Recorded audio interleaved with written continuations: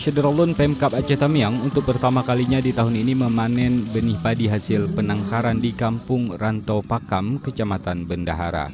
Panen perdana ini dihadiri sejumlah pejabat terkait dari provinsi maupun kabupaten dan sejumlah pengurus kontak tani nelayan andalan KTNA Aceh Tamiang.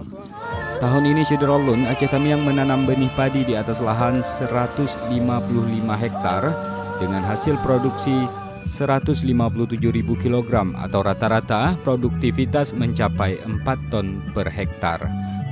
Program ini sendiri sudah dimulai sejak 2015.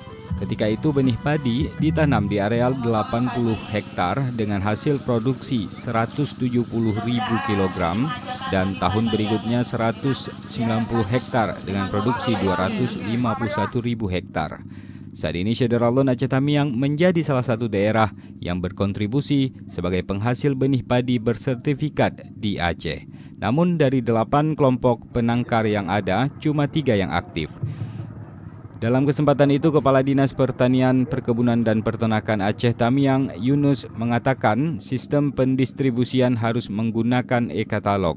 Ini menyebabkan benih padi yang dihasilkan sulit dipasarkan karena belum adanya distributor lokal yang terdaftar di e-katalog.